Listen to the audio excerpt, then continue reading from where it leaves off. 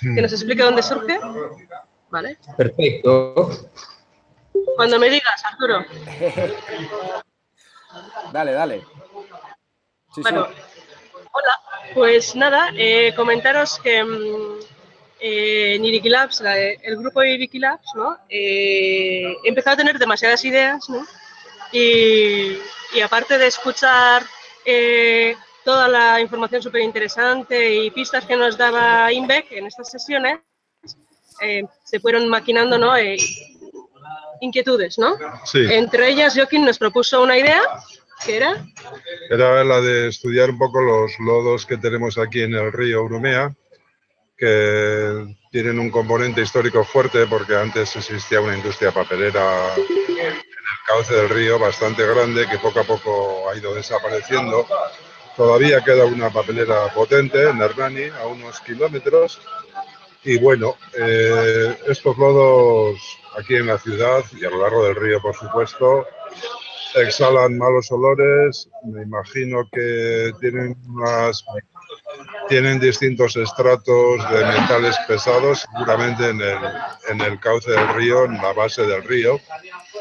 Yo hace unos años trabajé un poquito a favor del río y nos, eh, nos reunimos con el, con el responsable de aguas de, de, Donostia, se llama Aguas de Bañarbe, se llama, la sociedad pública que gestiona este tema, y así un poquito de récord nos comentó que mejor no tocar el tema. Mejor no tocar el tema porque si se movían mucho los lodos, quizás pudiera haber posibles riesgos de, salida al aire de material que mejor estaría depositado ahí en el fondo.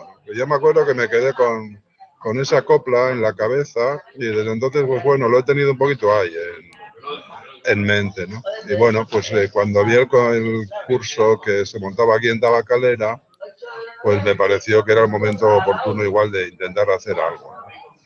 Y luego, bueno, para que sepáis por qué el maravilloso Ministerio de Costas se mete en este asunto, es porque el Urumea es tanto un río como una ría. Es un río que, que además eh, eh, ocupa, o sea, viene de la comunidad de Navarra. Ya sabéis todo esto rollo administrativos, de las competencias y todas estas historias. Y por eso al final las decisiones últimas las toma Madrid. Y, como el mar cuando remonta en el río, pues más o menos eh, eh, creo que abarca unos 7 o 8 kilómetros, es por eso porque la competencia pasa al Ministerio de Costas. Y bueno, pues en eso estamos. Y luego, pues eh, ya sabéis que se organizó la, una pequeña relación con la Sociedad de Ciencias Aranzadi, una sociedad muy prestigiosa. Y bueno, pues vamos a hacer este tallercito de catas y ya a ver si aprendemos algo y obtenemos algún dato interesante que, no sé, que nos ayudará igual a proteger mejor el río, ¿no? Y luego, pues bueno, por supuesto, pues abriremos todo la documentación y todo, pues a, a lo que nos traemos entre manos. Y en eso estamos. ¿Esto cuándo es? El, para quien vea el vídeo, porque hace falta escribir. Jueves 3 de mayo, miércoles 6 de junio, ¿no? Eso es, el jueves empezamos a las 4 por el tema de las mareas, eh, que creo que comienza a las 2 y hemos adelantado lo máximo posible. Entonces a las 4 eh, haríamos eh, seguramente directos a, hacer cata. Al río. Al río, directos al río. Luego ya nos explicaría más cosas eh, eh, Anne García Artola, que es la persona con la que nos puso en contacto Aranzadi para poder desarrollar este, este proyecto. Ella es eh, doctora en geología y es especialista en costas y en foramínidos. no sé si lo digo bien, pero bueno. vamos, que sabe mogollón. y la, la idea es aprovechar que le tenemos ahí para saber cómo sacar las muestras y después las vamos a enviar a un laboratorio para que nos analicen esas muestras y en la segunda sesión lo que haríamos sería pues, intentar entender qué es esa información que nos mandan del laboratorio, qué quieren decir con cada cosa que ponga ahí, que no tenemos ni idea, y eh, sacar una serie de conclusiones y, y que Joaquín se quede a gusto. Y todos, no solo yo, todos nos quedamos a gusto. Hay más de una, una empresa por ahí que está temblando ahora. ¿Cómo? Bueno. Bueno, que hay más de una empresa que está temblando ahora, que cuando empecemos a hacer catas y a tener análisis ya de lodos tóxicos, la cosa va a cambiar. Bueno, las empresas son como pulpos, tienen, tienen, tienen muchas ramificaciones. Pero bueno, sí, igual algún nervio podemos generar. Es muy guay, Igual. muy guay. Es muy guay, chicos. Yo tengo muchísimas ganas. Tengo muchísimas ganas. En Pues, estas jugadas creo que hay que ser discretito y humilde, sencillo y avanzar poco a poco, Pues- milímetro a milímetro. quienes estéis Esto es viendo, probable hasta que... quienes estéis viendo es esto online, que- eh, Didi Soset. es la publicación esta, lo podemos retrasar así 10 días, una semana, hasta que pase el taller, por ejemplo, entre otras cosas. Que eh, para quienes estéis viendo esto en, el- en la clase Vendelay, en el vídeo online, eh, os, os ponemos el enlace de- para que os inscribáis si estáis en Donosti eh, 3 y 6 de mayo, ¿de acuerdo? Que es la- el enlace para inscribirse es en la web de, de Tabacalera Iriki Labs, la inscripción es, es gratuita, por supuesto, faltaba más decirlo. Bueno, por supuesto, porque Iriki Labs y Tabacalera eh, se lo ocurran, no porque, no porque caiga así del cielo. Y, mm, y, y- precisamente eh, hoy, eh, ya que estamos empezando, em, ya que las investigaciones y ya que los desarrollos de las sesiones están llegando a una fase crítica respecto a la practicidad, estamos empezando ya a salir al terreno em, y a, y a desarrollar las estrategias prácticas sobre el terreno. Eh, queríamos incidir en una serie de, de- O sea, queríamos hacer una sesión especial que deberíamos de haber hecho al principio, pero que no, no hicimos y que es un fallo nuestro, eh, y que viene mucho a relación a lo que nos estáis contando ahora Joaquín y, y Diana, de que en el momento en el que habéis escrito a, al organismo competente para pedir el permiso, ya han empezado las preguntas, ¿no? Para algo que debería ser natural y que en el fondo es, o sea, en el fondo son nuestros lodos, o sea, esos lodos son de las ciudadanas vascas eh, y entiendo, por supuesto, que por una cuestión de orden eh, haya que pedir ciertos permisos, pero el, empezar a decir que no es y el empezar a, a hacer preguntas, eh, pues ya forma parte precisamente de esa estrategia del sistema también de investigar por qué hay grupos ciudadanos que están investigando por su cuenta, ¿no? Que es una de las cosas, uno de los conceptos que hemos ido desarrollando eh, durante estas sesiones. Entonces, Sí, la verdad es que perdón, perdón, Diana, di. no, hemos sido muy transparentes con la gente de Costas. Qué no- remedio, qué remedio. No, sí, pero desde el principio les hemos dicho que es un proyecto eh, vinculado a lo ambiental y también a, a los foramínidos, por ejemplo. Porque la idea de ANE es que si tenemos tiempo también in- indagar eh, en torno a los foramínidos, que son los esqueletos de microorganismos que están en los lodos. Porque también eh, son relevantes a la hora de saber eh, por qué han muerto, por qué no han muerto, si han muerto de forma natural o ha habido algo que los ha matado, etcétera, etcétera. Entonces, también ayudan a, a determinar causas ambientales. Y bueno, sí, nos están poniendo pegas un poco, pues no sé, son consultas un poco, no sé, eh, no se han metido, o sea, no sé, son como eh, ah, burocráticas, no, no, no es que nos digan eh, este, este tema, no nos gusta, no sé, yo desde la ignorancia, nos preguntan cosas como qué cantidad de lodo vais a coger, qué vais a mandar a Canadá, ¿no? Porque, o sea, ¿dónde vais a analizar esos lodos? Les hemos dicho dónde. ¿Qué vais a enviar? ¿Qué, qué, qué tamaño de muestra vais a enviar? Eh, ¿Cuántas personas van a hacer la extracción? ¿En cuántos metros cuadrados?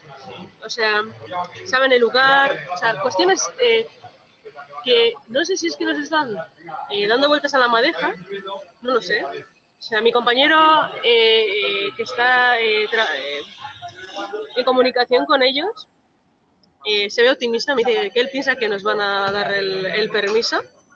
Eh, pero sí que es eh, curioso eh, que las preguntas, ninguna tiene que ver, son muy técnicas.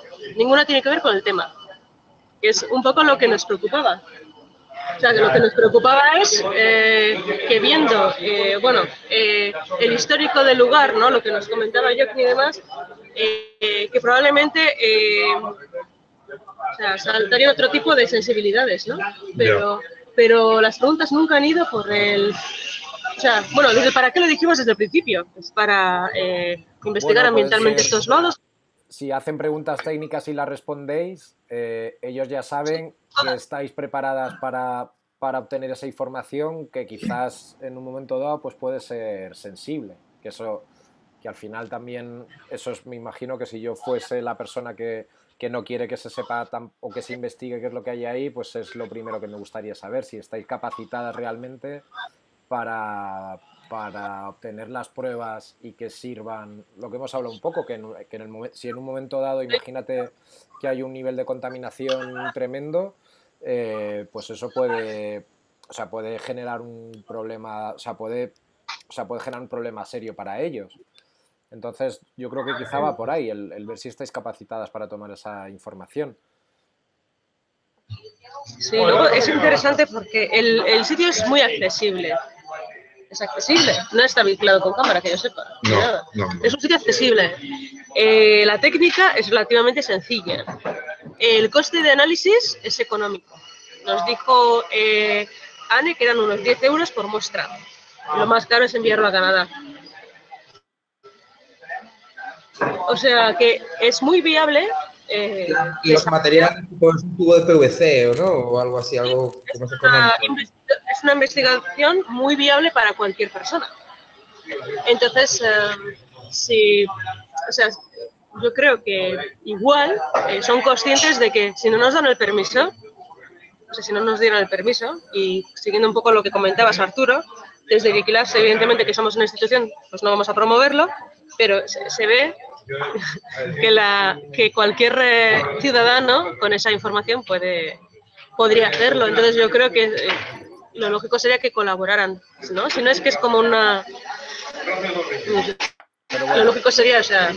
Mira, lo has, dejado, lo has dejado en el punto perfecto y es que ante la falta de colaboración de... Mm, convertir en presentador, ahí te vas, José ante la. ante la. Mm, ¿Te llega, José? Sí. Vale, no estamos viendo tu pantalla todavía. no todavía. Que ante la falta de, colaboración o no colaboración del ante la relación entre sistema e investigadoras eh, ciudadanas, em, y como os decía antes, algo que se nos ha olvidado, o sea, que no hemos hecho todavía, pero que es importante que hagamos, es que, tengáis en cuenta unas nociones, que empecemos a tener en cuenta unas nociones básicas, básicas, muy básicas en cuanto a la seguridad eh, de la investigadora y en cuanto a las herramientas que utilizamos para nuestras investigaciones. En nuestro caso, como nuestra herramienta más poderosa es la comunicación, y precisamente en, la comunicación que estamos desarrollando en los GAIMEC online, eh, juntando personas y creando este vínculo, Em, eh, es, una de las razones por las que, por las que al principio os eh, intentamos incentivar para que os cambiéis a tuta nota en vez de utilizar cuentas de correo em, de empresas comerciales. Es una de las razones por las que hemos incentivado también el uso de Riot. Y como, y como está bajando ese uso y queremos reincentivarlo, pues queríamos desarrollar una sesión con nociones básicas de funcionamiento y de seguridad eh, online y del funcionamiento básico de las comunicaciones en Internet para que mm, para hacer un poco como la charla, un poquito como la charla del miedo, ¿no? De, fijaos ahora, por ejemplo, el caso Cifuentes, esta mañana, que no, la dimisión no ha venido por el tema del máster ni por ningún tema de, de corrupción de, otros casos judiciales que sí que tiene abiertos, sino que la dimisión ha venido detonada por una grabación de un vídeo eh, de una cámara de seguridad de hace casi 11 años, ¿no? en el que roba una crema, que es una anécdota, pero que más allá de los significados que tiene políticos, hay alguien que, que ha guardado ese vídeo durante 10 años en una carpeta para luego poder utilizarlo en el caso de que surgiese la oportunidad.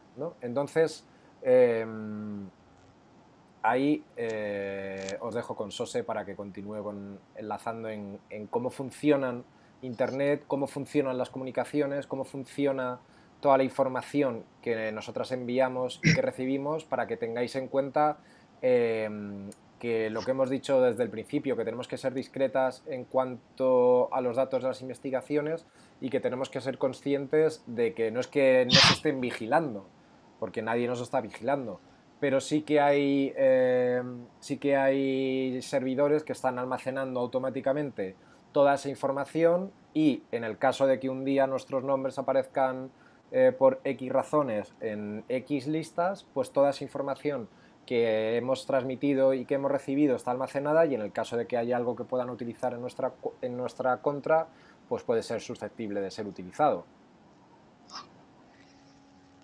Correcto.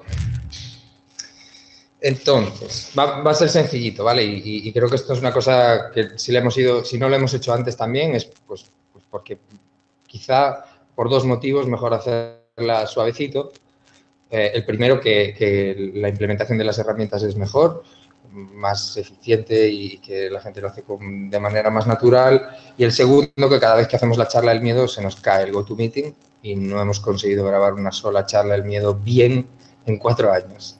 Arturo, tú eres testigo. Eh, esto es cierto, ¿eh? se nos ha caído la casa. lo que decía de los, de los becarios, ¿no? Becarios que tenemos de la NSA.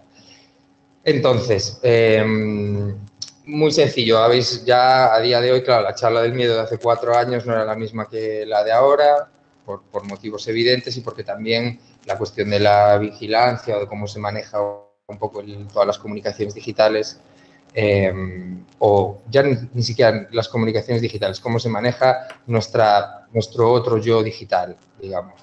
¿no? Ya vamos a empezar a hablar en otros términos.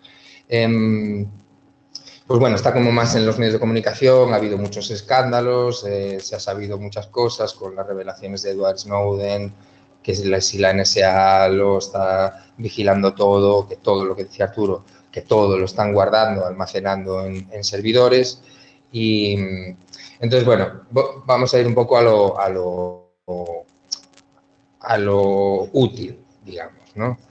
Eh, yo cuando vi la primera vez que vi este mapa que tenéis en pantalla, creo que podéis ver también los enlaces, ¿no? Que sí. va todo con es que de hecho son cuatro imágenes y dos cosas más. Pero yo la primera vez que vi este mapa me quedé alucinado, no, no era consciente de, de, que en realidad todas las comunicaciones, o sea, el grueso de las comunicaciones mundiales es a través de cables, a través de cables, de, no es a través de satélites, quiero decir con esto, ¿de acuerdo? Los satélites están ahí y, mucho flujo también va por satélites, pero fundamentalmente las comunicaciones de Internet para, y, todo lo que vaya por Internet, las digitales, de, de uso civil, ¿de acuerdo? Eh, van por cables. Súper interesante la página, em, pero bueno, como veis, podéis pinchar en cada uno de los, de los nodos y, y da la información del nodo, a ver si voy a tratar de no jugar mucho porque ya sabéis, mi computadora siempre hace cosas raras, ¿no? Toda información de los nodos, en fin. Hay una cosa muy significativa y es que fundamentalmente eh, todos los cables pasan y, los nodos gordos de cableado están en Estados Unidos y en Europa fundamentalmente, pero básicamente en Estados Unidos, en Brasil también un montón. Em, pero bueno, quiero decir con esto que lo que muchas veces se considera como algo etéreo, que es lo digital, ¿de acuerdo? Porque no es tangible, eh, es algo que realmente viaja por unos caminos que son, son cables, ¿de acuerdo? Son muy tangibles, ¿no? Son cables subacuáticos, transoceánicos. O sea, imaginaros, ¿no? Estos cables que vienen por aquí, por el Pacífico, o los que unen Europa con, Estados Unidos, son miles de kilómetros de cable submarino, ¿de acuerdo?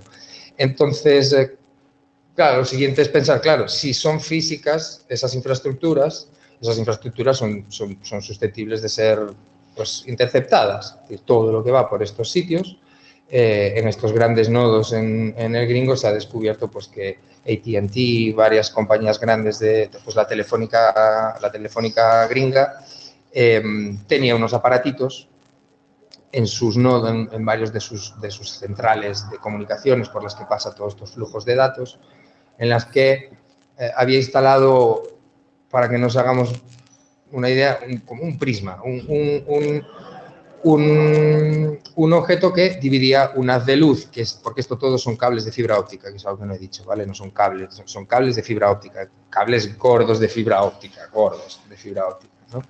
Em, Un prisma lo que hace es dividir una señal lumínica, dividirla, duplicarla, ¿de acuerdo?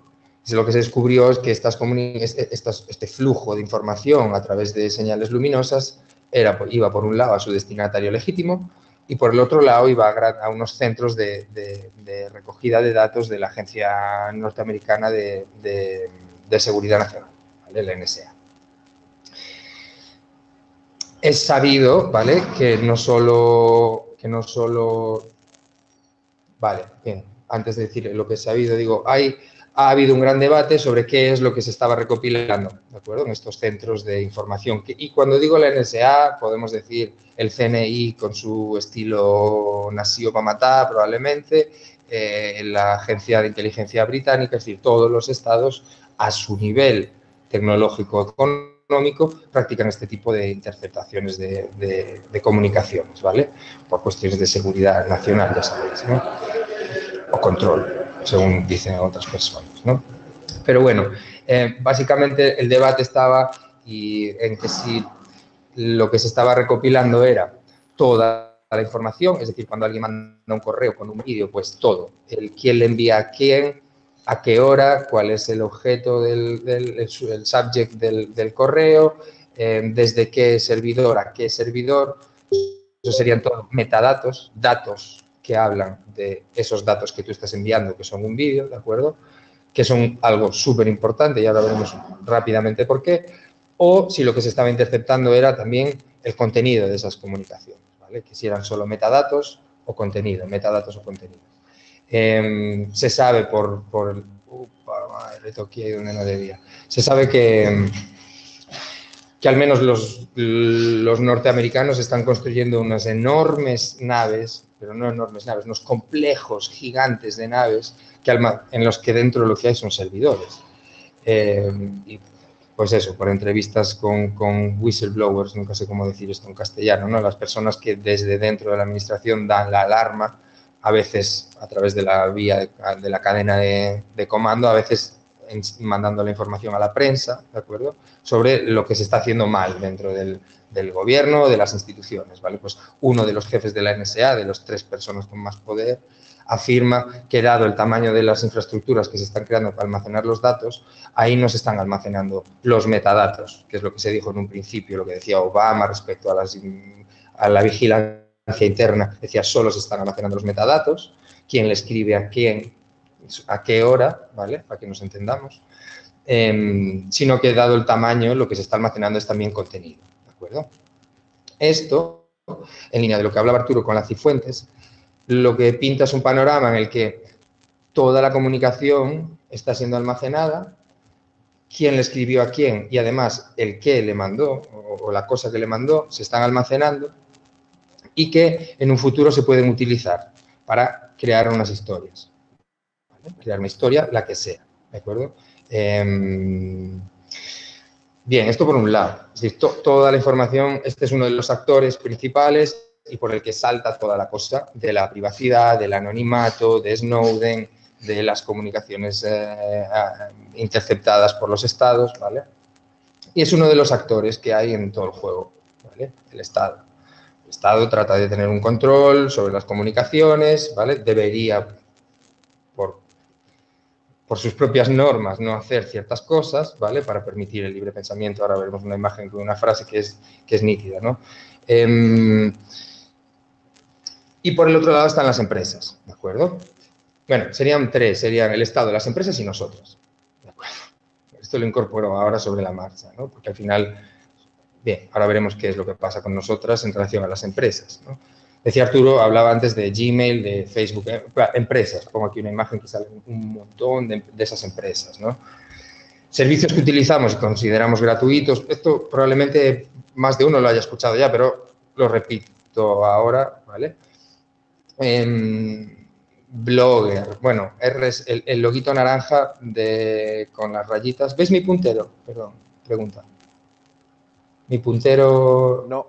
¿Mi ratón? ¿Lo veis? No. Vale, bueno, el logo este de naranjita que hay en todas las webs de RSS, que es un punto y dos rayas, el logo más grande naranja que hay, eh, arriba a la izquierda, eso es Real Simple Syndication, eso no es una empresa, eso es el logo de un sistema de sindicación de información, de, un, no sé si es exactamente un software, la verdad, pero bueno, El resto sí que son empresas. Facebook, LinkedIn eh, Microsoft, si no me equivoco. Flickr es eh, Google, también, si no me equivoco. Twitter, Vimeo, YouTube. Todos los servicios que prácticamente, casi todos los servicios digitales que utilizamos hoy en día, o que utiliza un 80 o un 90% de la población, son, no son servicios gratuitos, son servicios por los que no hace falta pagar una cantidad de dinero. Es decir, tú puedes ir a, Gmail, hacerte una cuenta de correo en la que no tienes que pagar ninguna cantidad y a la vez tienes una cuenta en YouTube en todos sus servicios. Te, te creas esa cuenta y ya tienes una cuenta en un montón de otros servicios. Nosotros convivimos con Befaco, que tienen una producción de sintetizadores modulares espectacular. befaco.org. Aprovecho para hacer publicidad a los compañeros y empezarán a entrar sonidos agudos y graves. Em, bien, Todas estas empresas ofrecen una serie de servicios como el la mensajería, mensajería instantánea, WhatsApp, el servicio de correo electrónico, almacenado de vídeo, almacenado de fotografías, Google, eh, buscador de, palabras, eh, motor de búsqueda, Google. Facebook da todo eso que da. Eh, son empresas, ¿de acuerdo? Ofrecen unos servicios que no hay que pagar con dinero para hacer unos perfiles de consumidor. ¿De acuerdo? Así, clarito. Todo lo demás es, palabrerío. Es decir, Google no tiene otra intención que hacer perfiles de usuario para después vender publicidad para que vengan las grandes empresas, le paguen y hacer publicidad dirigida. ¿De acuerdo? Este es el sistema por el que funcionan todas estas empresas que tenéis aquí en pantalla. Y, por desgracia, nos, claro, como lo que ofrecen es de un nivel de, potencia tal, solo quedémonos con Google, ¿no? Con, el gran monstruo. Es que el gran monstruo, lo sé, yo ahora, por ejemplo, he empezado a trabajar por cuenta ajena y después de varios años que ya me había quitado el Gmail, tengo una cuenta para el trabajo en Gmail. Y claro, no es solo la cuenta de correo electrónico, o sea, la tengo precisamente porque tiene un drive compartido con el resto de las compañeras, subimos los vídeos, bueno, en fin, como todo muy integrado, el Drive, el Docs, el Leader, las hojas de cálculo, es súper potente y es lógico y normal que la gente lo utilice, ¿de acuerdo? Eh, más si no, tiene, si, no, si, no si no tiene una especial preocupación por, por las libertades o, por si tiene o no que ocultar cosas o por si la historia puede dar muchas vueltas, ¿no? Hay gente que le da absolutamente igual si hace 10 días una cosa era permitida y mañana es ilegal, pero como ella no la hace, ¿de acuerdo? Eh, aunque sea una animalada, ilegalizar ciertas, ciertas conductas, por ejemplo. Esto ha pasado con las cuestiones de la homosexualidad. Pasa hoy en el planeta, pero por, no irnos fuera del planeta, pero cuestiones que aquí no eran, ilegal, eran ilegales, dejaron de serlo de la noche a la mañana. ¿De acuerdo? Se cambió la ley y lo que antes te llevaba pues, 15 años a prisión, pues de repente no. ¿De acuerdo? Ese proceso que aquí ha pasado en España ha pasado, ¿de acuerdo? Había unas conductas que eran ilegales y de repente, de la noche a la mañana, son legales y todo el mundo los puede hacer. Con la ley Mordaza, nuevamente, ciertas conductas han vuelto a legalizarse con unas penas X. Y la cosa puede ir a más. Y la verdad, visto lo visto hoy, visto el entorno europeo, pues no, no hay muchos indicios de que la cosa vaya a ir a menos, ¿vale? que vaya a haber mayor libertad de pensamiento y acción. ¿De acuerdo? Em, bien. Dicho esto, estas empresas em, no podrían hacer nada si nosotros las utilizamos. Si no las utilizásemos, ¡pum! Se cierra ahí. Hay servicios que mm, podemos utilizar alternativos, por eso nosotros os hemos invitado a que os hagáis una cuenta en Tutanota, que es un proveedor de correo electrónico, privacy eh, consciente con la privacidad de sus usuarias, que no tiene acceso a nuestros cajetines de correo, porque esa es una cosa que no todo el mundo sabe.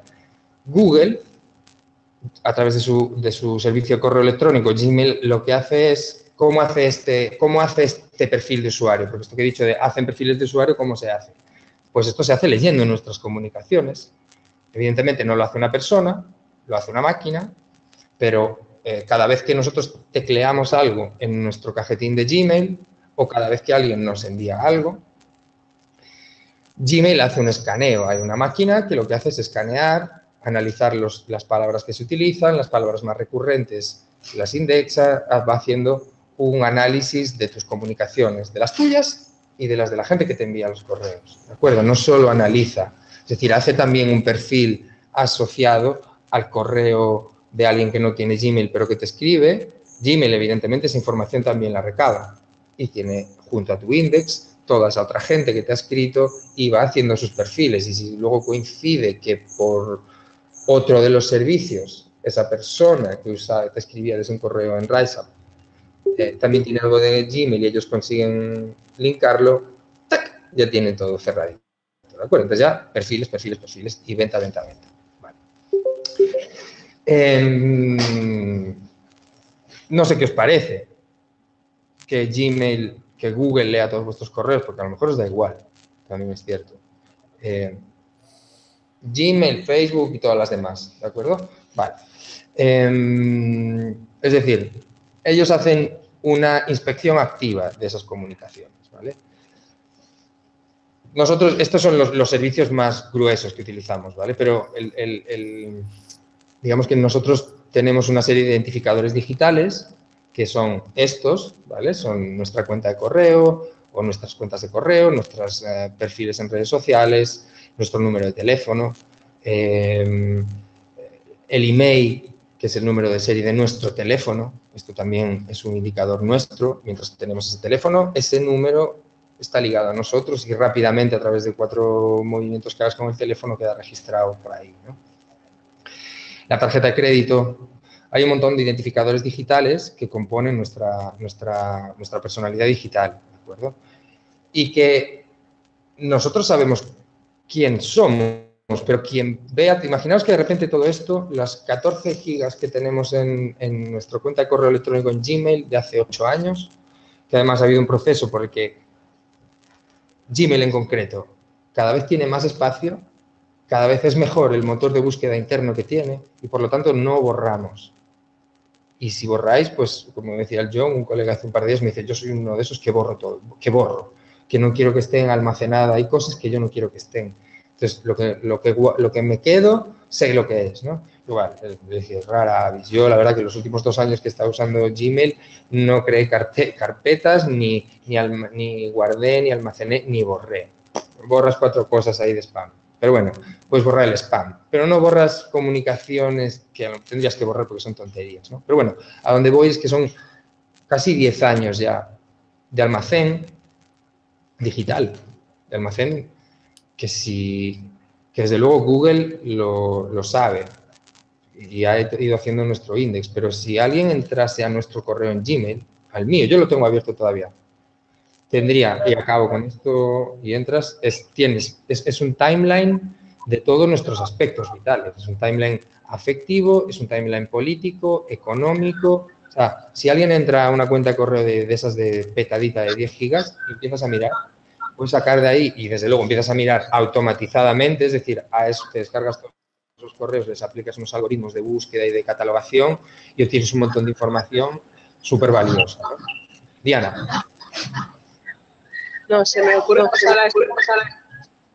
para no limpiar eh, estos almacenes que tenemos, es, no tengo tiempo para analizar las cosas. O sea, que me, o sea, ya tienes tanto que no sabes ni lo que tienes. O sea, yo soy de los que tengo a tropel. Entonces, eh, no sé. igual hay que hacer, eh, hay un concepto aquí que se llama Barneteki, que son como seminarios, ¿no? O sea, de, en torno a un tema. Hay que hacer un Barneteki, un seminario de, de limpieza de rastro digital. O sea, dedicarte, yo que sé, un fin de semana, vas, limpias tu ordenador, limpias todo lo que tenga que ver con... O sea, es darte, o sea, a veces hace falta como un tiempo que no nos damos, o sea, porque no, no existe esa cultura de la gestión, ¿no? De todo, de todo esto. Es algo que hay que integrar, que no integramos, pero que parece como interesante, ¿no? A nivel, a, a nivel de seguridad da igual, porque da igual que tú lo borres o no. O sea, da igual que tú lo tengas en tu ordenador o que, o sea, o que yo te haya escrito hace un año y lo hayas guardado, da igual a que yo te escriba y lo borres, porque una vez yo te escriba, eso ya está, o sea, eso está guardado en el servidor de, de Google. No sé, cuándo, no sé cada cuánto tiempo irán borrando información y qué información irán borrando ellos o no de, de su servidor de transcripciones, pero me imagino que, o sea, que, realmente e, o sea, ese ejercicio es interesante lo que estás diciendo, Diana, porque, porque es interesante para cambiar los modelos de conducta hacia el futuro.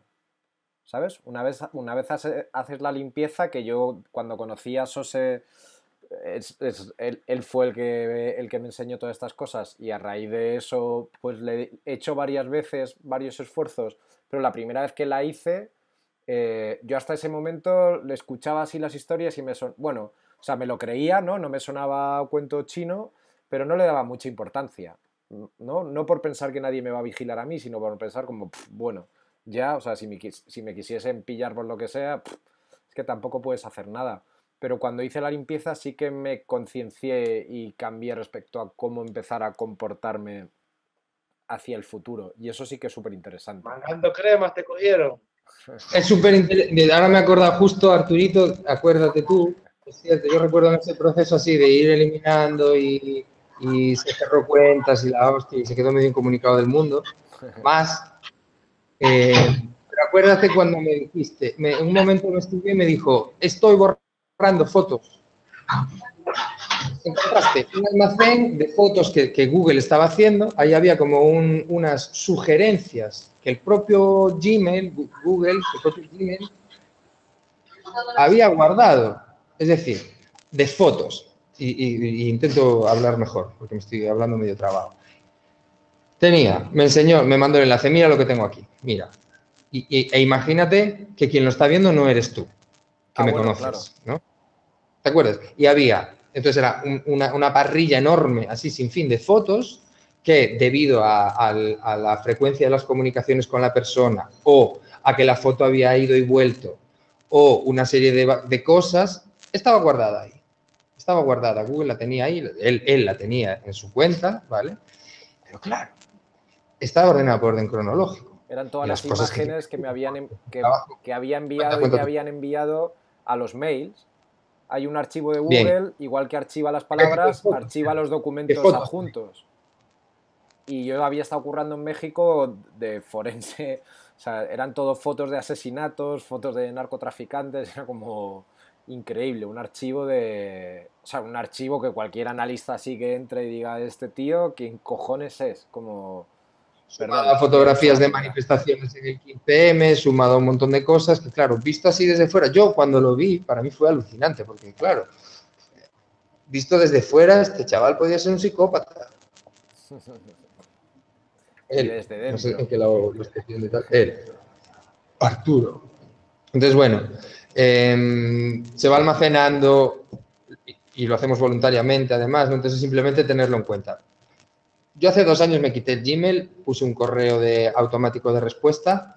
Cuando alguien me escribía ahí le decía automáticamente, ya no estoy usando esta cuenta, estoy usando esta otra en tu nota. Me costó un ratito, ¿cierto? Justo un rato hubo gente que me siguió escribiendo allí y, tenía, estuve meses en los que iba, seguía mirándola, pero ya no la, o sea, hace ya yo creo que más de un año que no entro a ver si alguien más escrito allí, porque ya fue tanto tiempo. Tienes, eh, o sea, eh, si tienes la cuenta eh, básica, ¿tienes la básica o tienes la de pago? ¿Qué tienes? Porque en la nota, mira, la nota cuesta un euro al, al año, la cuenta el premium básico. Un euro al mes, perdón, son 12 euros al año, perdón, eso quería decir es una gira. Comparado con los 14 de lo otro, es un montón. Pero yo llevo tres años con, esta cuenta y no se me ha, no, no se me ha llenado. Quiero decir, de vez en cuando hago así un poquito de eliminación de morralla, como le digo yo, y ya está. al final, tener una giga es más que suficiente.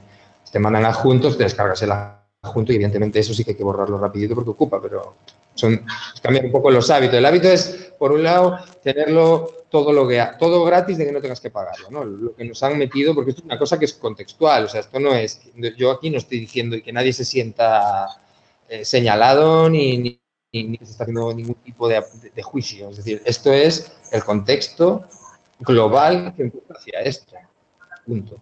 Entonces, todas estas empresas funcionan de esta manera. Lo de antes de la infraestructura física, sumado a que todas estas empresas tienen toda esta información y que se ha demostrado por documentación hecha pública que actúan en comandilla, plantea un problema importante de, de, de, pensamiento. ¿no? Decía, la frase que os decía antes es esta de aquí. Nosotros teníamos un proyecto que es la OSA, o, Oficina de Servicios Estratégicos para Activistas, también un poco descontinuado o en, o en Entonces, esto, ¿no? Hay, o sea, la pregunta, esto se resume en, bueno, es que no es, no es, pregunta, porque esto está bastante probado a nivel sociológico, humano, científico, ¿no? Cuando alguien sabe que le están escuchando, no habla con total libertad. Cuando alguien sabe que le están escuchando y que además le puede caer X o Z mal, sea un guantazo, sea 20 años de prisión, menos, ¿de acuerdo?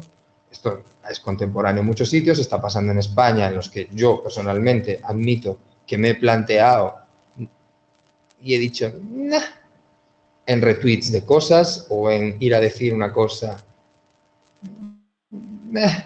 a ver si me van a dar de titiritero, ¿no? O sea, no, hay que irse a, dictaduras a kilómetros, ¿no? O sea, aquí pasa esto, es decir, a mí me ha pasado con una cosa así, o sea, de decir, uy, a esta gente por decir esto le ha pasado esto de acá, ¿no? Lo mismo en chats, he de reconocer, es incluso en chats cifrados, Telegram, grupo conversación cifrada súper segura, pues yo me lo pienso, la verdad, ¿no? Porque creo que, el, bueno, pues por todo esto que os está contando, ¿no? Que no lo digo yo, yo he cogido cosas y vengo aquí a resumir esto para vosotros, simplemente, ¿no? Bien. Em, os los pongo aquí, mirad, no, lo de, por un lado está todo lo que hacemos nosotros a la hora de dar nuestros datos gratuitamente a empresas y por el otro lado está que la infraestructura, como os decía, está hecha para que esto sea así. Esta página tracography.org básicamente lo que te dice es cuando lees, quién te lee cuando lees periódico, periódicos online, cuando lees news, eh, dice, eh, encuentra quién, yo creo que debe tener hasta castellano.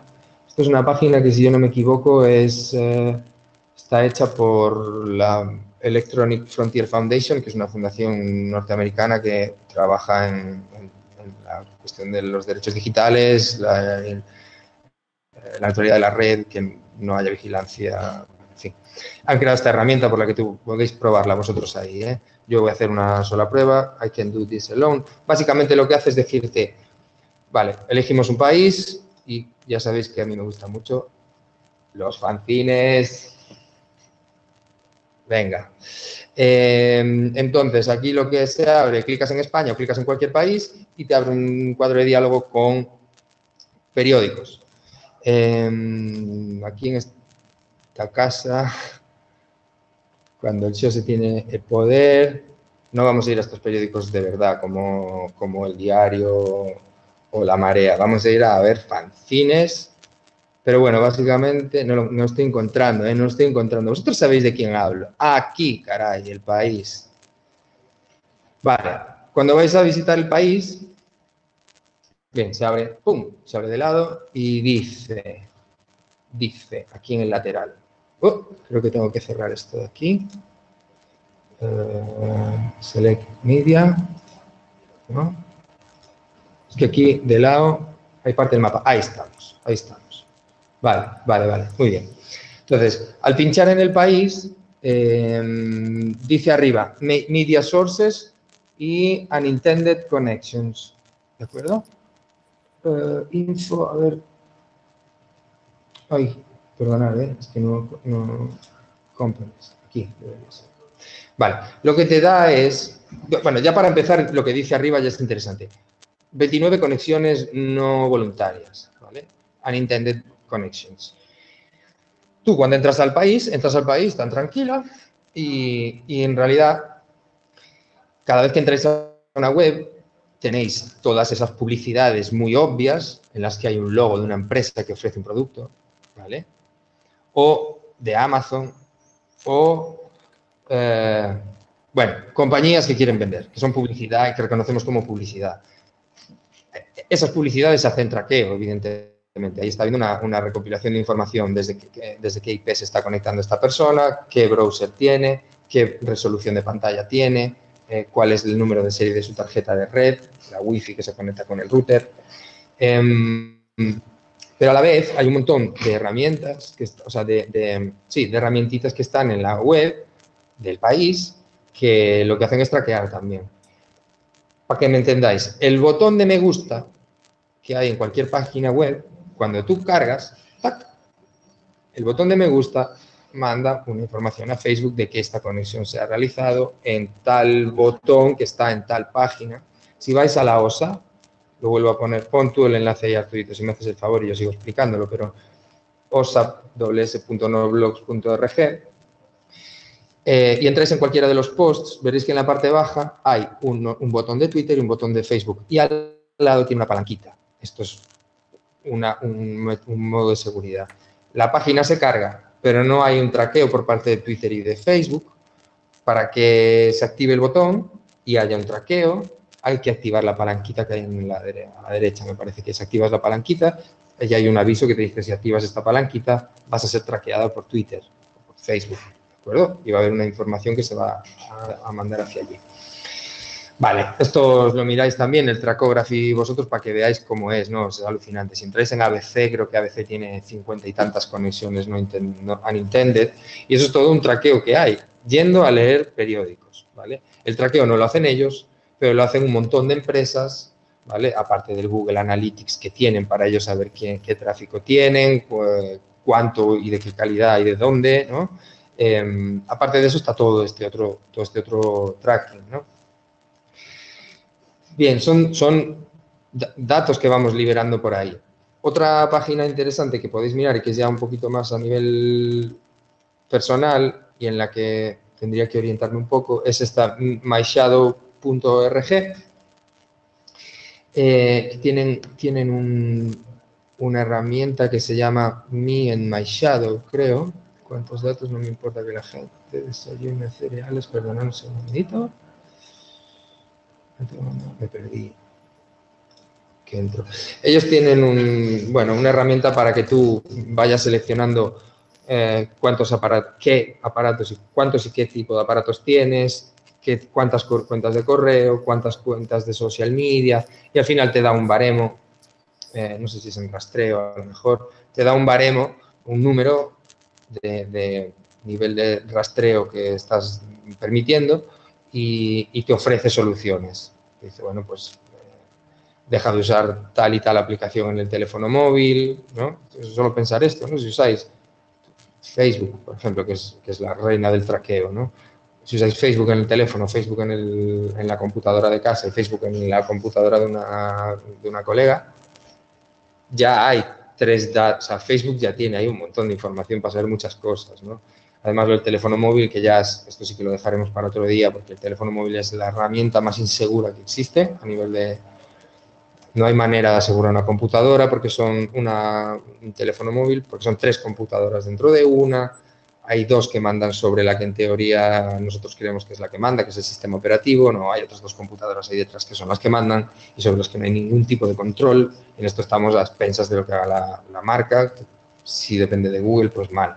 Android es de Google, básicamente, ¿no? O sea, hay versiones de Android que no, que no tienen servicios de Google, pero todos los Android, básicamente, que, que vienen instalados en los teléfonos tú te tienes que hacer una cuenta en, Gmail o tenerla para poder utilizar el Play Store, o sea, ya es como un, enganche más sumado a, las, que el teléfono móvil pues tiene GPS, tiene Wi-Fi, puede detectar las Wi-Fi de los lugares y ubicarse por eso, bueno, en fin, es una herramienta muy insegura, ¿no? Pero a la vez es la súper herramienta, ¿vale?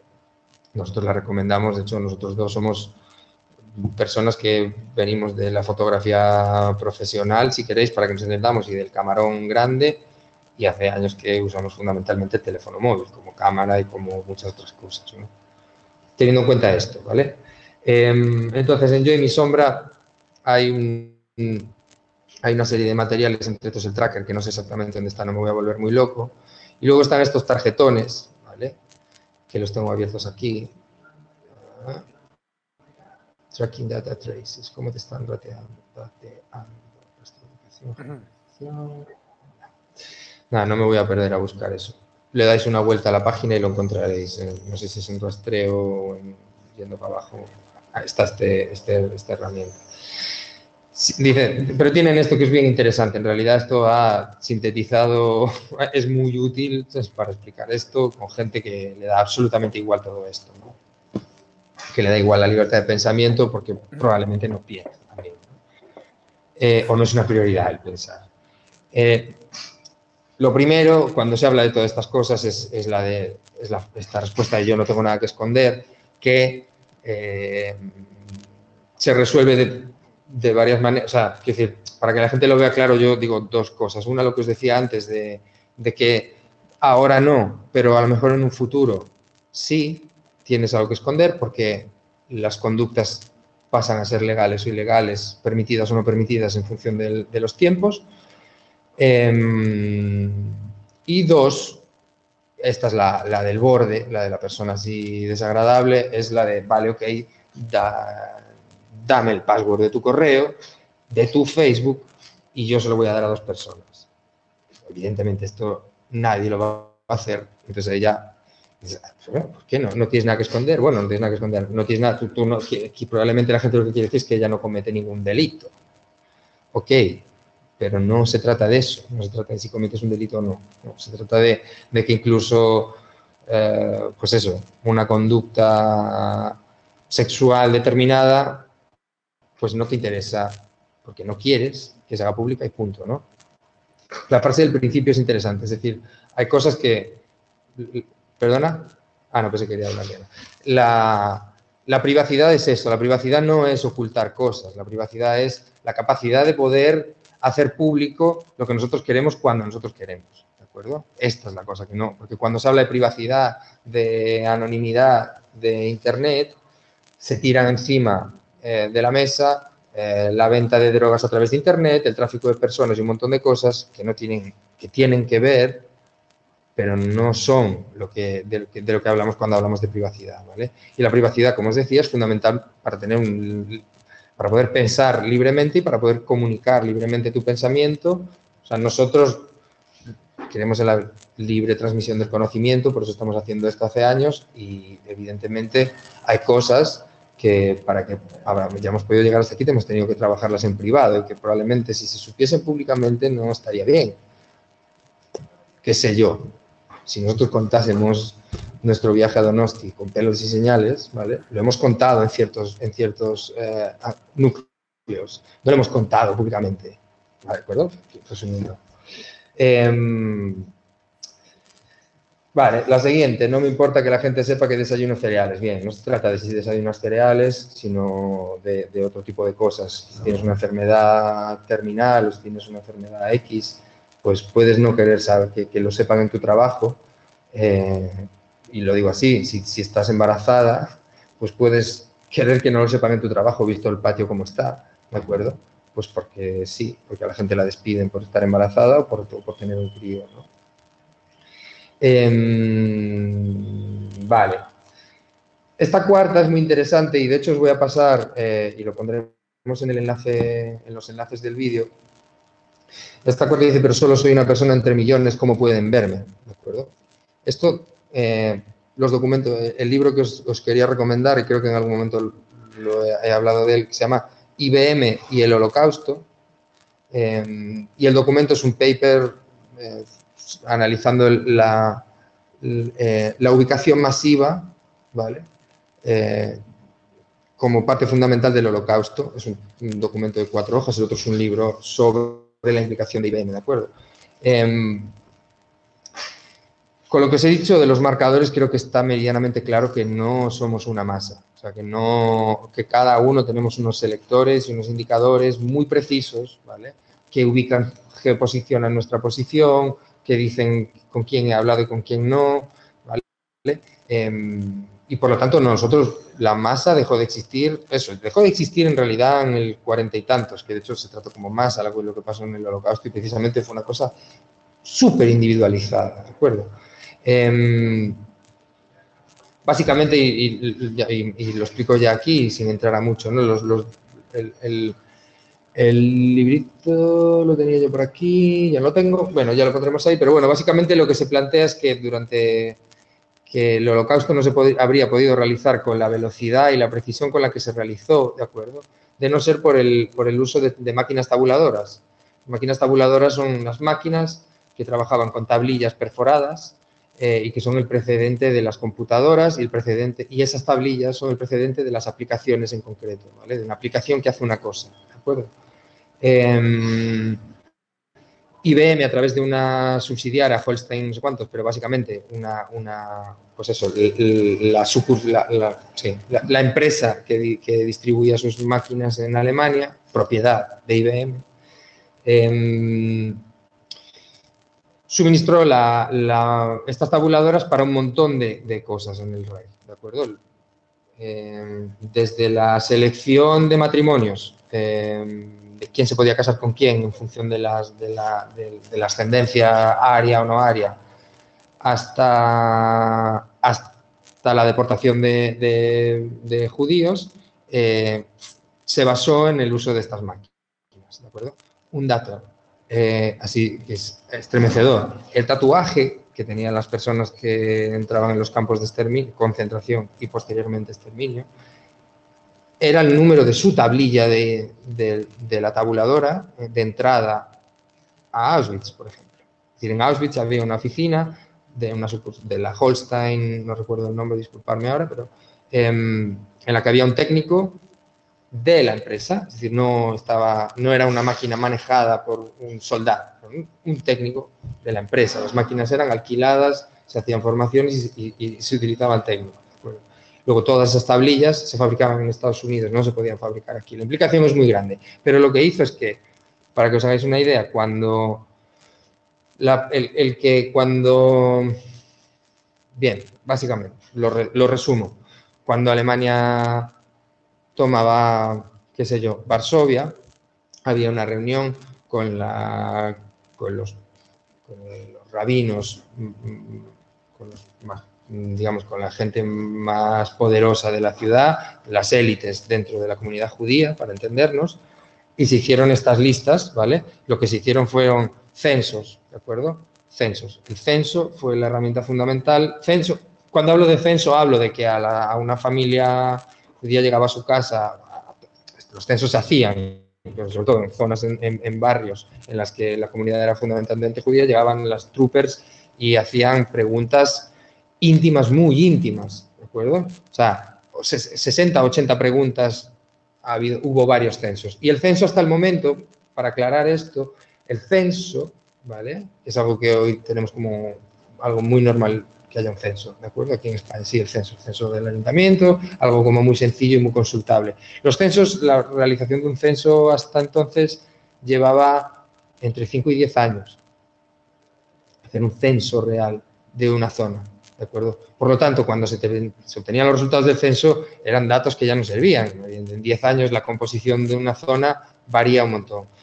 Estos censos que se, hicieron incluían toda la ascendencia y descendencia y relativos, hasta, hasta grados muy alejados. Incluía todas las propiedades y su ubicación, incluía las cuentas, incluía un montón de información que hizo que la que las autoridades pasarán de decir en la zona de tal barrio hay aproximadamente X personas deportables, judías, a saber individualmente dónde estaba cada una de esas personas, sus familias, sus pertenencias. ¿De acuerdo? Entonces, cuando se llegaba, se hacía una ocupación y se mantenía en el momento que se, se decidía hacer una deportación, las deportaciones se hacían así, porque se sabía exactamente dónde estaban habitando cada una de esas personas, ¿de acuerdo? Con todos sus bienes y demás. Bien, el libro súper interesante, el paper lo mismo, viene muy al hilo. Yo cuando leí el libro, claro, era en medio de toda esta vorágine de Snowden y demás y me pareció tremendo, ¿no? Porque es algo que, tiene, que parece que es de ahora y que, necesitaba de, cables de fibra óptica transoceánicos y, y no, ¿de acuerdo? Eh, también es cierto que hay personas que dicen, personas de la comunidad de inteligencia que dicen que, y, y ex miembros de la Stasi, ¿vale? Que dicen que, el, claro, la Stasi con toda su fama y con todo su aparato de control capilar del territorio, nunca tuvo una herramienta como Facebook o una herramienta como Google, sin ir ya a las de interceptación propias del Estado, ¿vale? O sea, todos esos bases de datos que nosotros hemos, que se han ido generando, que las hemos generado nosotros, las empresas, el Estado, las otras empresas, ¿de acuerdo? Entonces, individualización y, bueno, os, vamos a dejar ahí el enlace para que lo leáis el librito. Em, pero me dan un descuento en el seguro, en fin, hay toda una serie de cosas que no, que no bueno, ya los hemos hablado, es decir, ¿Cuánto pagáis? Pensadlo así, ¿cuánto pagáis de, teléfono al mes y al año? ¿Por qué no pagar 12 euros a los de Tutanota o 50 en un correo, en ProtonMail, en Suiza, con las leyes suizas, eh, que ya se han negado a dar eh, información en distintos casos mientras no estuviera ultra justificada, ¿vale? Que no, desde luego no acceden a tu cuenta de correo, no tienen capacidad de ver tu password por cómo está diseñado el software, ¿de acuerdo?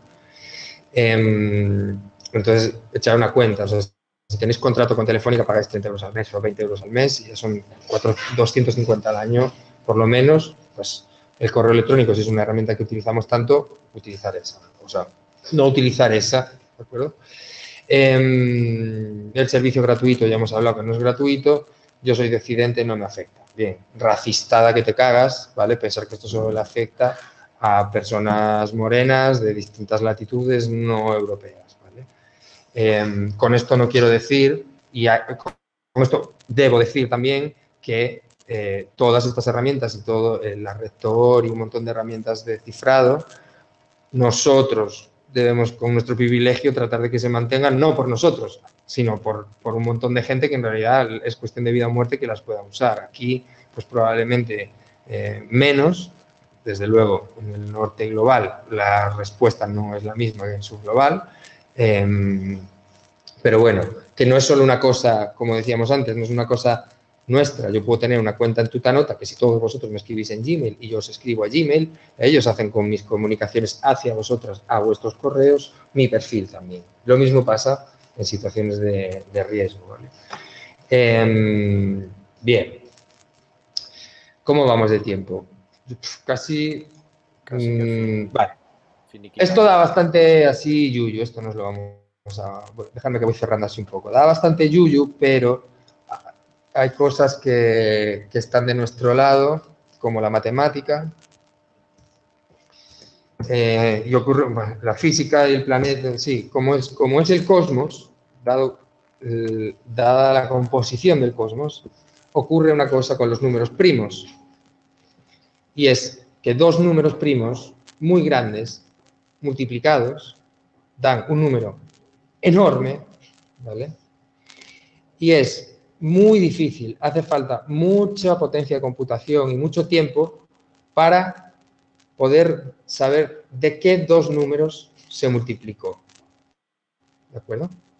Es decir, no sé si lo, voy a repetir. Eh, antes de repetirlo, digo por qué nos sirve esto. Esto se usa en cifra. Esta es la base de la encriptación, del cifrado. Sea el cifrado de, del WhatsApp, que ahora habéis visto que el WhatsApp pone eh, esta comunicación es cifrada de extremo a extremo. Sea el cifrado de PGP, que es el cifrado más común de correo, sea como el iPhone almacena los datos cuando está apagado. Ahí hay tres tipos de cifrado. O un, un entráis en cualquier página web y arriba, en la URL, pone HTTPS. Cuando tiene la S, la comunicación desde nuestro ordenador hasta, en este caso, la OSA, que es lo que tenemos aquí delante, es cifrada. ¿De acuerdo? Si alguien intentase en el medio interceptarla, no podría leerla. ¿Vale? Em, por eso digo, el cifrado está de nuestro lado, la matemática está de nuestro lado, el cosmos está de nuestro lado. ¿Por qué ocurre esto? Esto podía no ocurrir, esto podía no pasar la matemática podía, y a lo mejor de aquí a 10 años o de aquí a 2 años, esto ya no pasa, porque realmente se encuentra la manera o la computación tiene una capacidad de, procesado tal que es capaz de encontrar estos dos números así en un volado. Se dice que los quantum computers, la nueva generación de computadoras, esto se lo va a, a pasar así rápido. El cifrado funciona, ¿vale?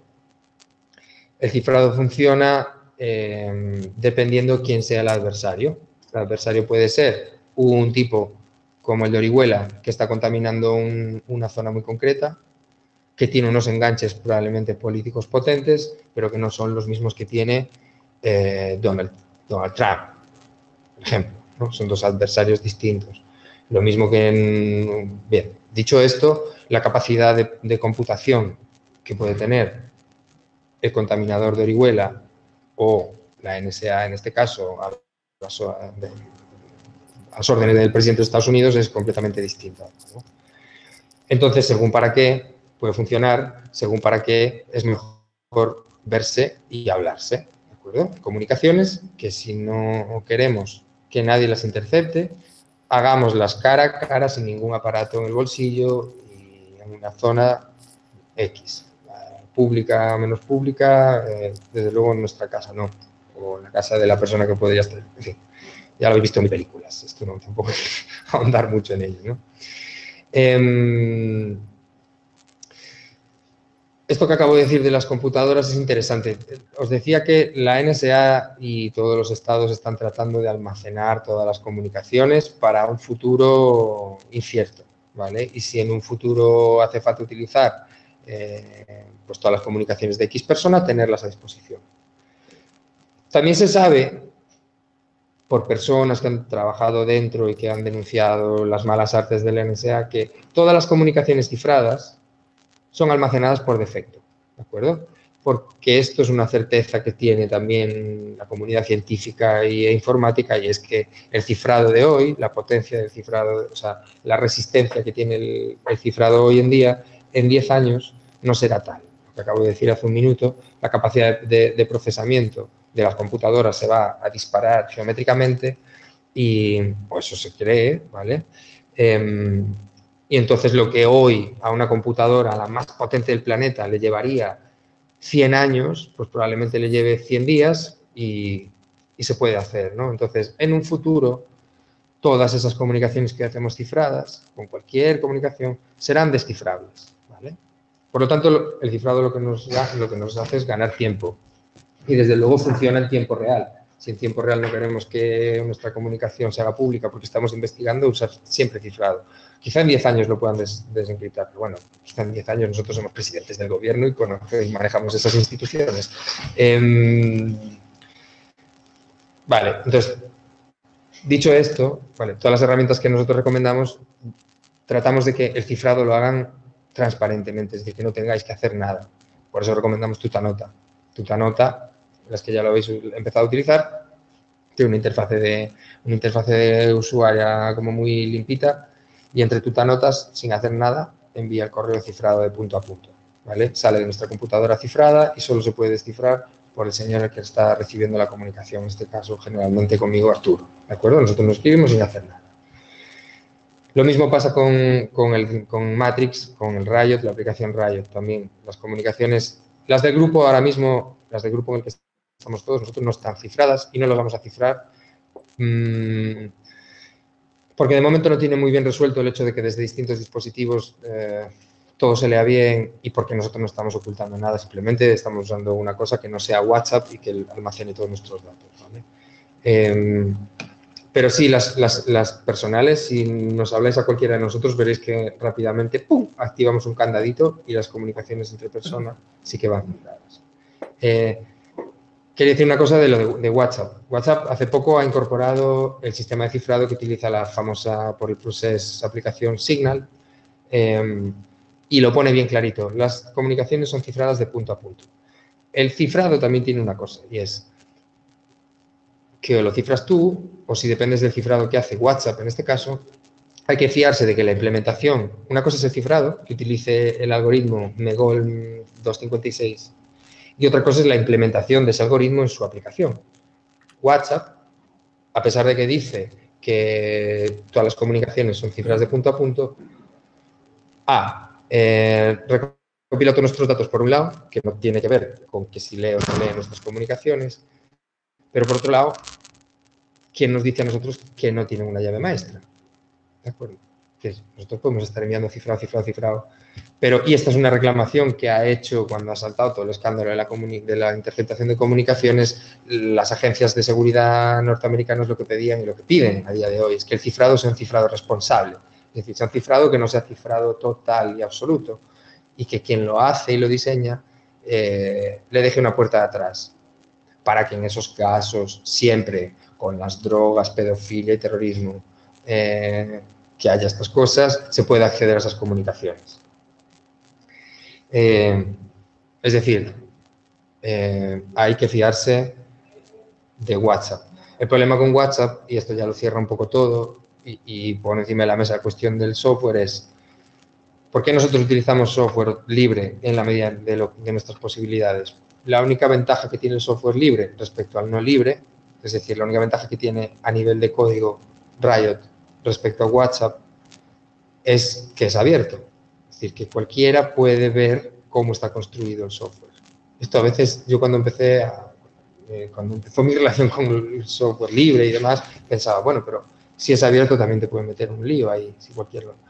Pero bueno, si es abierto y está implementado con ese código y comprobamos que en ese código no hay nada malicioso, no hay ninguna puerta de atrás, que la implementación del cifrado es una implementación que no permite un descifrado por parte de terceras personas de un ente central o, del Estado, ¿de acuerdo? O de la empresa que es, ¿no? Eh, pues hay una cierta garantía pues de, de, que tu comunicación es lo que te están diciendo que es, ¿de acuerdo? Por eso digo, WhatsApp dice que va a cifrar de punto a punto, pero WhatsApp, por un lado, es, forma parte del, del monstruo que acaba de estar en el Congreso de los Estados Unidos declarando que es Facebook, ¿de acuerdo? Entonces, yo, yo desconfío de entrada porque está comprobado que Facebook utiliza nuestros datos, que, que, bueno, eso lo que ha pasado con Oxford Analytica, si no pone Oxford, Cambridge Analytica, Oxford Analytica, qué buena es. Cambridge Analytica, hay un escándalo, Cambridge Analytica Facebook y os vamos a ir 800.000 entradas para que os documentéis. Pero bueno, eso, mal uso de nuestros datos ¿no? y de nuestra privacidad, Entonces, mm, yo os voy a dejar aquí, que creo que ya en algún momento dado lo hemos hablado. Esta es eh, securityinavox.org, es eh, una página, es una guía, vamos, una página que es una guía en realidad, que está creada por, déjame que vaya aquí abajo, que creo que están los loguitos, por dos organizaciones que son una es Frontline Defenders, aquí está. ¿vale? Frontline Defenders es una organización de defensa de los derechos humanos, se dedican a hacer formaciones en países en conflicto. Em, y Tactical Technology Collective es un colectivo eh, de desarrollo tecnológico, de software eh, básicamente, que desarrolla herramientas de seguridad y privacidad. Juntas han hecho este, pues, tienen, llevan a cabo este proyecto, que no es, una guía, es una guía que constantemente se está actualizando porque esto de la seguridad o de las herramientas mm, privadas y anónimas, o aunque solo sea privadas, todos los días está, todos los días no, pero cada dos por tres cambia, ¿vale? Y, varía y lo que hoy sirve, mañana no sirve, hay cosas que sí. De hecho, ya hay cosas de, profilaxis básica como dejar de utilizar un correo de una empresa, ya es un enorme paso eh, independientemente que después el cifrado de tu nota sea más o menos robusto. Em, o que la herramienta de chat que estamos usando mañana nos digan, no, miren, es que en realidad el cifrado ese ya se rompe, se ha roto, no es, no es 100% seguro ni 90% seguro, es inseguro porque cualquiera con este script puede romperlo, puede acceder a sus comunicaciones.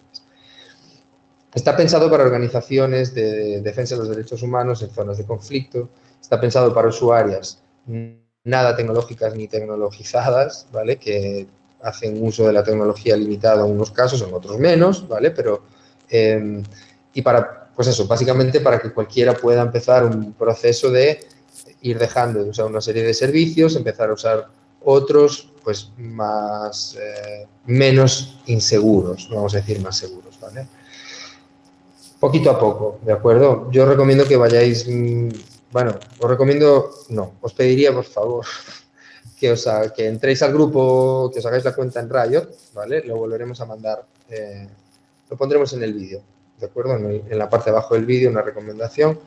Em, Y, y lo mismo con el correo en Tutanota, porque queríamos empezar a, eliminar los correos de Gmail, ¿vale? Por esto que os hemos comentado, pues para que todo lo que nos vamos diciendo, si hay una sola persona que está en Gmail, eh, se va allí todas las comunicaciones y entonces todo este juego deja de tener un poco de sentido.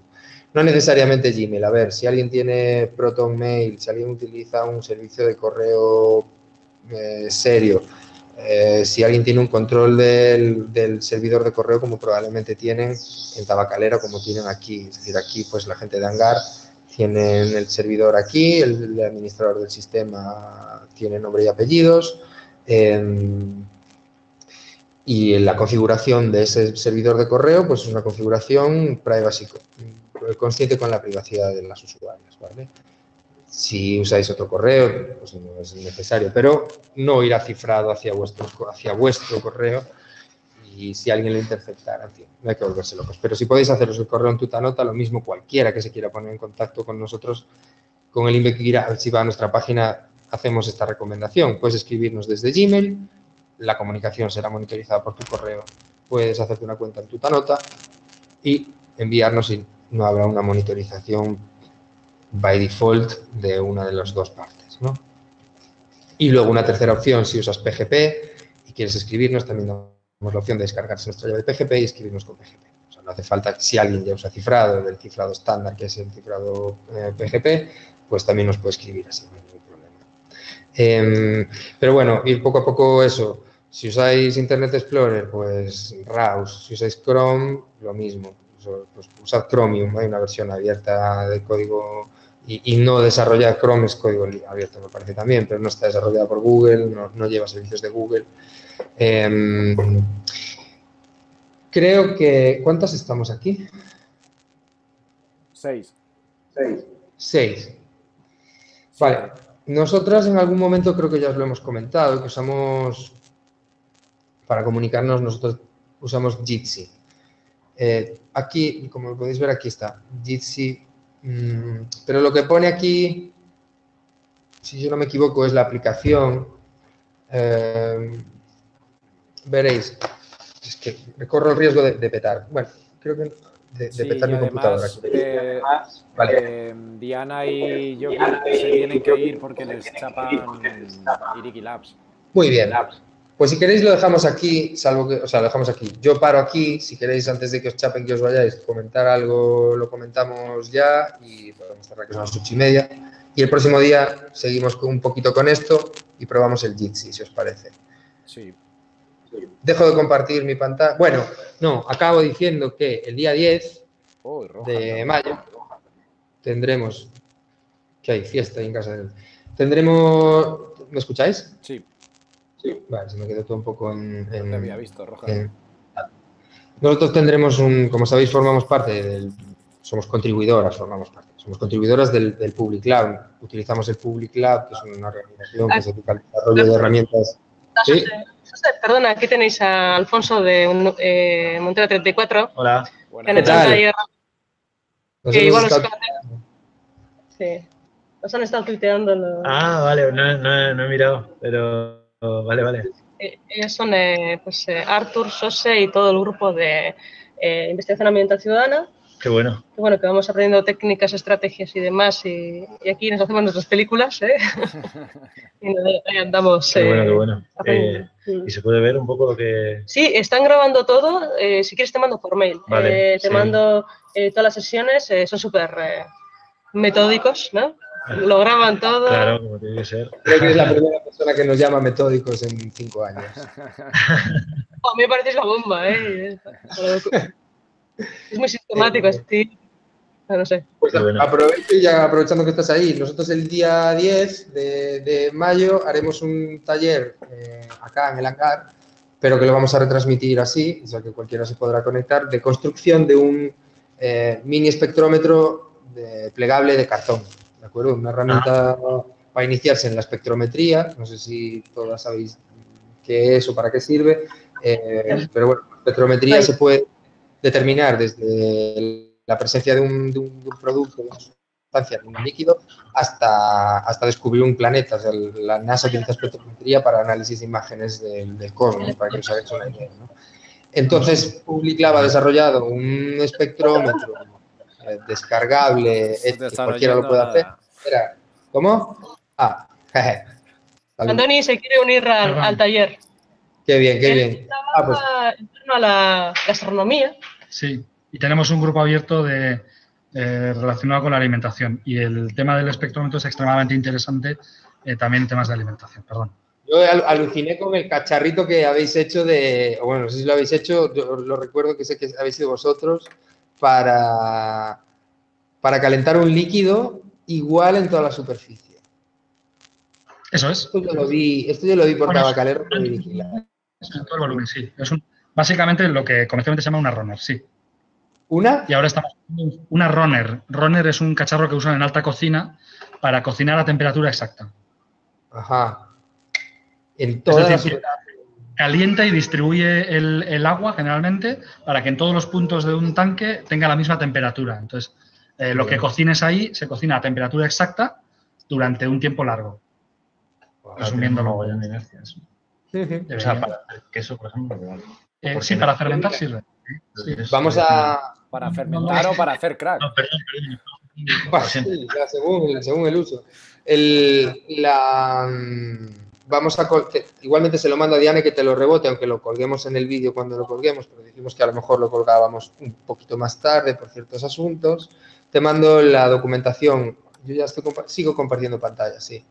Eh, te mando la documentación del Public Lab porque esto es un espectrómetro de cartón y si queréis ir probando, ¿vale? Igualmente el día 10 eh, o sea, digo porque ahí sois de hacer, vaya, no, no necesitáis mucha guía para hacer esto, ¿no? Muy simple. Eh, y el día 10 lo haremos aquí, lo retransmitiremos. Pues así un poco, hablar un poco de qué es la espectrometría, qué, qué tipos de espectrómetros hay y hacer con, tijera y pegamento de cola y un cachito de DVD un, un espectrómetro. Esto lo desarrolla Public Lab y Public Lab tiene además un software que se llama el spectralworkbench.org que sirve para calibrar el, el aparato y para, y para obtener los datos, o sea, para el espectro de luz que tienes, pasarlo y tener, obtener eh, los datos de, pues eso, de, de la, de la composición de salud, ¿no? Y ya el 10 de mayo en Hangar a las 19 horas, eh, no hace falta inscripción y, y estáis invitados a participar online. Os mandaremos el Haremos así. enlace. Vale, sí. Perfecto. sí. Bueno, pues sí, sí. Qué guay. Es un jueves, jueves a las 7. No será un miércoles. Me dicen, aplicado a la gastronomía. Pues yo, yo si puedo me apunto, claro que sí, me interesa. ¿Cuál? ¿El grupo Sí, o eh, el taller? El taller, para Vale. empezar. Y, sí, sí. y miraré la, La la documentación. del grupo, sí. claro que sí. Vamos suave. Aquí en Iriki vamos a hacer un taller de cata de lodos para ver metales. Pero bueno, poco a poco. Muchas Bueno, gracias. venga, Bueno, yo os dejo que tengo que ya Sí, tiene. Ahí con el besito. Bueno, Pues- cuadrilla. Oye, rela- momento de interacción entre grupos. ¿eh? Qué guay. Está Qué guay. Está guay. Muy bien. Pues si queréis lo dejamos aquí y Vale. Sí, sí. os mandamos los materiales estos, los colgamos en el vídeo. Bueno, los los mandamos porque así dejamos lo del vídeo para la semana que viene, si os parece. ¿vale? sí, sí, sí. Los que no han estado podrán esperar una semanita y mejor. ¿no? Bueno, pues eh, muchas gracias por todo. Sí, hoy, lo deja, aparte lo dejamos, chicas, así charla porque tengo ya aviso de temperatura aquí en el ordenador y en un momento dado se me va a petar y se va a echar a perder la grabación, así que tenemos que tenemos que cortar. Pero el miércoles que viene retomamos hablando qué os ha parecido, qué pensáis, eh, estrategias de seguridad, eh, dudas que tengáis, etcétera, ¿vale? Y si no, ya sabéis, podemos ir hablando por el Riot o por el Tutanota, ¿de acuerdo? Rojas, no te mandé lo del Riot, así que... Pero, pero ahora mismo te lo mando en cuanto pague, ¿vale? A ti también, Sayoa. Pues venga, besos, chicas. Bye, bye. Eso te... Hasta luego. La clase esa. Ay, qué jaques estáis hechos.